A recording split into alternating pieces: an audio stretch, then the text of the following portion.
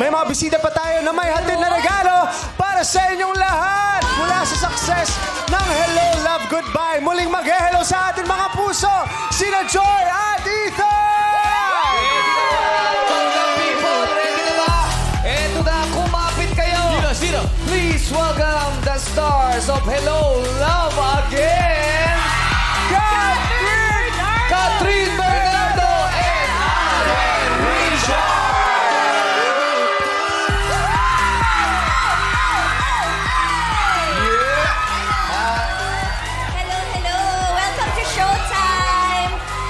Welcome Yun, back!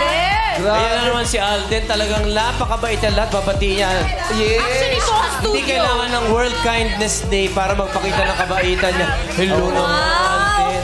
Kumusta Yeah. naman? Fresh from At their premiere si night Kat. last Mga night. puyat pa tong mga to. Oo, Congratulations. Galing, Congratulations. galing sila sa mga block screening kanina. Yes, congratulations! po, thank you po. Pero bago ang lahat, bumati Bati muna kayo sa kayo ating sa ating madlang people. What's up, Madlang people? Congratulations sa success ng inyong world premiere kagabi. Nagkaroon din silang kagabi ng 12 a.m. first screening sa first day ng showing sa movie theaters. Ang dami daw nanood ng 12 a.m. screening. Para bang first time nangyari yun? Nagkaroon ng ganong 12 a.m.? First for a local. kaaga. For a local, Kuya Bong. ano? Grabe naman. Kamusta experience? First midnight screening, yes. Kamusta experience nyo? What? Saya, ang saya kagabi. And then, uh, actually, first time lang din namin napanood yung pelikula nung, Nang buo. nung nang buo, nung premiere night. So, Anong uh, feeling na napanood nyo na finally yung ano, yung sequel?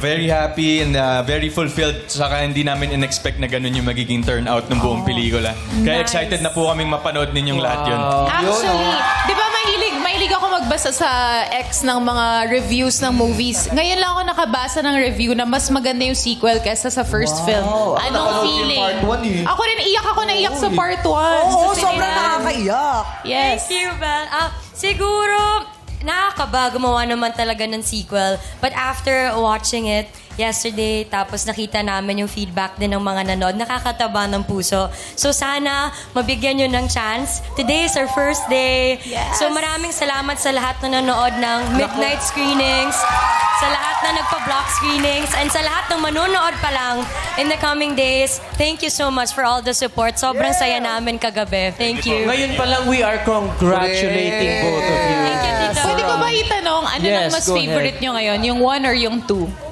Mahirap mag-compare kasi. Oo. Mahirap kasi magkaibang journey ng characters. So feeling ko medyo ano, magkaibang Mag- konti. magkaiba. Okay. Pero masasabi ba nating mas close na kayo ngayon? Ah, yes naman, Kuya Ox. Parang, uh, Siyempre, di ba, pangalawang movie. Oo eh. Yes, and uh, syempre lagi din kami magkasama while we were filming it. Ngayon, we're doing the promo. Uh, syempre, yung level of comfort, mas nag-level up siya. Yun eh. Anong mga message niya sa mga fans ninyo? Ayan, maraming maraming salamat sa buong Pilipinas na grabe po yung pagpapakita ng suporta nyo. Thank you so much. Hindi nyo alam kung gaano kami kasaya. And then, ngayon lang kasi nagsisink in sa amin lahat ng nangyari kagabi. So, yun. Course, GMA Pictures and Star Cinema for giving us this opportunity to create this beautiful film. So, please do watch it. Hello, Love Again. Now showing. Now showing.